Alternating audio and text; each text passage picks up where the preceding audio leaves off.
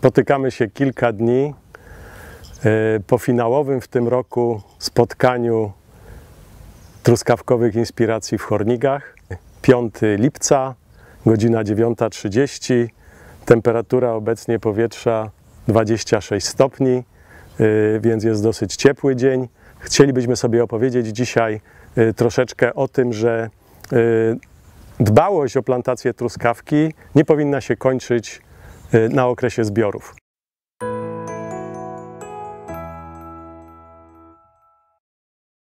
Jesteśmy znowuż na odmianie Verdi, y, tej posadzonej w ubiegłym roku, która już zakończyła plonowanie tegoroczne, zbiory zakończyły się. No i trzeba by się zastanowić, co dalej. Wielu producentów często odpuszcza jakiekolwiek zabiegi y, albo minimalizuje je ze względów kosztowych. Natomiast, y, proszę Państwa, y, jest to bardzo, bardzo ważny okres w całym okresie wegetacji truskawki. Jeżeli Państwo weźmiecie nasz program, nawet ten posypowy, bo wielu z Państwa może jeszcze nie przeszło na ten rodzaj uprawy, jaki tutaj mamy, czyli uprawa truskawki na wałach okrywanych włókniną z fertygacją, to Proszę zwrócić uwagę, że w naszym programie ten nawóz Jaramila Kompleks, który wiosną stosujemy w dawce 150 kg, propozycja nawożenia pozbiorczego to jest 250 kg kompleksu na hektar. Y, samo to mówi o tym, jak ważny jest to okres z punktu widzenia żywienia i z punktu widzenia tego, co chcemy osiągnąć w przyszłym roku. Proszę Państwa, y, jak y, podejść do, te, do tego nawożenia zależy mocno od tego, jak wygląda plantacja. Yy, czy ta plantacja jest yy, mocno, yy, powiedzmy, porażona przez choroby, czy, czy liście są mniej lub bardziej zaawansowane, od tego zależy, czy należy kosić liście, czy nie. Jeżeli kondycja liści jest w dobrym stanie, jeżeli one są zielone, nie, nie, nie mają y, zbyt wielu chorób, nie są uszkodzone, nie ma uszkodzeń y, poprzędziorkowych, gdzie, gdzie tego chlorofilu w liściach nie ma, y, no to w zasadzie powinniśmy te liście zostawić, szczególnie jest, jeżeli jest to młoda plantacja, dlatego że y, no te liście produkują asymilaty do żywienia tego wszystkiego, co y, ma się w tej chwili tworzyć, w tej drugiej połowie sezonu, w okresie lata, czyli zawiązków y, przyszłych koron oraz zawiązków pąków kwiatowych, które w przyszłym roku dadzą owoce. Czyli reasumując, proszę Państwa, ten okres decyduje o tym, ile owoców na krzaku będzie w przyszłym roku. Kolejne czynniki, które decydują o tym, y, o intensywności nawożenia w tym okresie, proszę Państwa, to jest to, co robimy z rozłogami. Należy jak najszybciej te rozłogi niszczyć. Proszę pamiętać, no, że jest to, y, no, zabiera to składniki pokarmowe. Przez cały okres teraz, y, y, nawet owocowania, jeżeli tego nie robimy regularnie, to część składników jest jakby mm, przetransportowana do rozłogów i jeżeli nie usuniemy ich na tyle wcześnie, no to jeżeli nie będziemy ich usuwać, no to po prostu one nam też będą zabierać i ogładzać rośliny, co będzie miało wpływ też na na, na wytworzenie tych y, przyszłorocznych pąków kwiatowych. Także myślę, że warto o tym pamiętać i i też jakby tutaj ten, ten zabieg, te zabiegi związane z usuwaniem rozłogów wykonywać y, w odpowiednim terminie.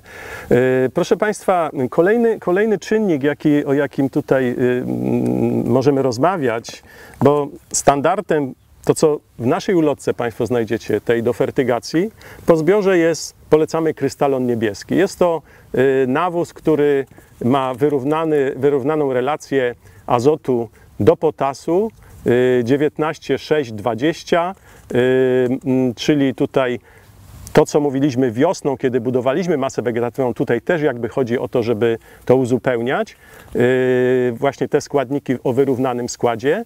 Tylko ja bym chciał zwrócić Państwa uwagę na jedną rzecz. Proszę pamiętać, że programy nawożenia roślin, takie jakie Państwu prezentujemy, są to programy kompleksowe. One, one w pewien sposób stanowią całość i to, czy my teraz wybieramy taki nawóz i w jakiej dawce, to nie jest tak, że stosowaliśmy jakieś inne nawożenie dotychczas i nagle wchodzimy tutaj z tym krystalonem i będzie dobrze. On jest uzupełnieniem tego, co było wcześniej, bo jeżeli regularnie stosowaliśmy e, te krystalony w fertygacji, które tu już były stosowane w okresie rozwoju y, do owocowania i w trakcie owocowania, proszę zwrócić uwagę, że zawierają dosyć dużo fosforu. Dlatego ten fosfor, y, który nie jest składnikiem wypłukującym się z gleby, w tej glebie pozostaje w tym okresie. Dlatego możemy sobie pozwolić na krystalon niebieski o trochę niższej zawartości fosforu. Bardzo istotne natomiast będzie tutaj ten azot dla budowania i podtrzymania rozwoju masy liściowej, no i potas też, żeby po prostu bilansować odpowiednią, odpowiednio, w odpowiedni sposób tą, tą ilość składników. Czasami, proszę Państwa, może być niewystarczająca ilość wapnia też w tym okresie. Mocno zależy to też od od tego, jaką mamy analizę wody. Ja zachęcam zawsze, proszę Państwa, do jednak y, mimo wszystko do zrobienia analizy wody, y, dlatego że ona nam wiele rzeczy mówi. Jak, jak podchodzić do nawożenia w trakcie sezonu? No, najlepiej zrobić program oparty o tą analizę wody, jeżeli mówimy o fertygacji, ale jeżeli nawet nie y, staramy się opierać na takiej ulotce ogólnej, to, to zawsze możemy ją troszeczkę zmodyfikować, ten program, mając taką informację, czy tego wapnia jest dużo, czy, czy, czy, czy mniej i wtedy na przykład też uzupełniać jeszcze troszeczkę azot y, za pomocą na przykład y, saletry wapniowej, kalcinit, y, nawet w tym, w tym okresie, jeżeli, jeżeli to będzie potrzebne, jeżeli będzie wymagało dodatkowego rozbudowania liści, bo one będzie ich mało, mm, więc, więc tutaj też może, możemy to wykorzystać. Proszę też pamiętać, że to są ta dawka, która tutaj jest podana w naszej tabeli, tak jak jest napisane na górze, jest to dawka w kilogramach na hektar na tydzień. Pytanie jest, jak długo to robić? Y, no myślę, że mm, powinniśmy to, to też zależy mocno od tego, jak, y, y, no, co robimy po zbiorze, czy, czy kosimy te liście, czy nie kosimy. No bo jeżeli y, mamy liście zostawione, to w zasadzie możemy przez około 4 tygodnie zasilać tutaj jeszcze tym krystalonem niebieskim po to, żeby podtrzymać tutaj te, te zdolności produkcyjne liścia dla wytworzenia asymilatów. Natomiast jeżeli skosiliśmy liście, no to na pewno trzeba będzie dłużej przewidzieć nawożenie, bo musimy najpierw odbudować ten aparat asymilacyjny, Y, na pewno wtedy warto wprowadzić dodatkowo ten y, do fertygacji kalcinit. Y, dlatego warto wtedy, proszę Państwa, też na pewno jak już te liście zaczną się budować, dodatkowo oprócz tych fertygacyjnych zabiegów, czyli kalcinit z krystalonem niebieskim, stosować dolistnie krystali w foto po to, żeby wysycać te liście chlorofilem, żeby one jak najszybciej produkowały asymilaty na rzecz budowy nowych liści, ale też tego, co wspomniałem, to co najważniejsze. Zawiązków, przyszłych koron i zawiązków pąków kwiatowych, które w przyszłym roku będą decydować o ilości owoców. I na koniec, proszę Państwa, yy, chciałbym przypomnieć, bo już mówiłem to chyba przy, w poprzednich yy, odcinkach naszych nagrań, parę słów na temat stężenia pożywki, jaką podajemy y, pod rośliny, bo nawet ostatnio miałem sporo zapytań w tej kwestii, czy rozmów z producentami, zarówno na spotkaniu, jak i w, tele, w telefonicznych rozmowach. Ja bym chciał zwrócić Państwa uwagę, że pod naszą tabelą tutaj jest napisane, że mm, te nawozy podajemy w stężeniu 0,05 y, do 0,3%. To oznacza pół kilograma do 3 kilogramów na 1000 litrów wody, która płynie pod rośliny. I teraz mm, pytanie, bo nie ma w tej ulotce wyjaśnienia, ale ja już o tym wspominałem i to było istotne na przykład właśnie w okresie zbiorów w zeszłym tygodniu, to co, to, co e, robiliśmy na tych plantacjach, które owocowały w zeszłym tygodniu na tych 23 e, odmianach. Tam, tam y, wspólnie z gospodarzem cały czas ustalaliśmy to, żeby stosować niższe stężenia. Jeżeli my mamy, proszę Państwa, tu podane, żeby dać 15 kg krystalonu niebieskiego na hektar na tydzień, to nie znaczy, że my mamy to te 15 kg w ciągu jednego podlewania w jeden dzień dać.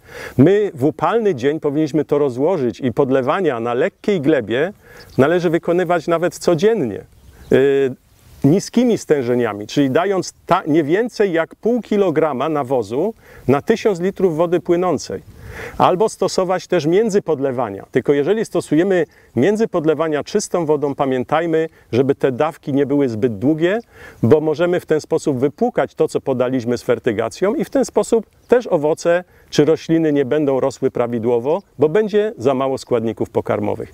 Także najlepiej podlewać cały czas pożywką, tylko o mniejszym lub większym stężeniu. Jeszcze raz przypominam, mniejsze stężenie w upały podlewamy częściej, krótszymi cyklami, yy, natomiast yy, i na lekkich glebach tak samo, bardzo, bardzo musimy krótkie cykle i, i, i, i częściej, natomiast na cięższych glebach przy pogodzie powiedzmy mokrej, deszczowej, te cykle mogą być rzadsze, nawet nie możemy czasami podać wody i, y, za dużo. I dlatego wtedy, jeżeli po intensywnym opadzie, taki jak na przykład był tutaj w zeszłym tygodniu, że mogło wypłukać część składników yy, i jest mokro w glebie, nie możemy podać za dużo wody, no wtedy możemy te 2 do 3 kg przy bardzo dużej wilgotności w glebie w krótkim cyklu nawodnieniowym podać y, po to, żeby teraz wykorzystać to słońce, yy, które będzie produkowało asymilaty.